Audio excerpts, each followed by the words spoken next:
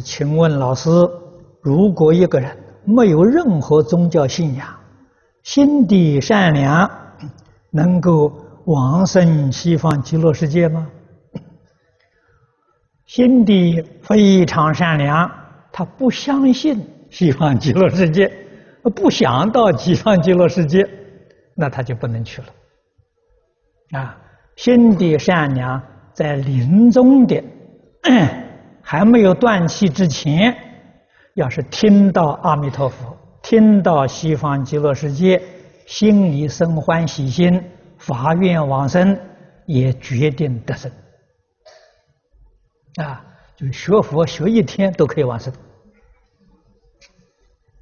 啊，这个心地善良就是他的本钱呢。啊。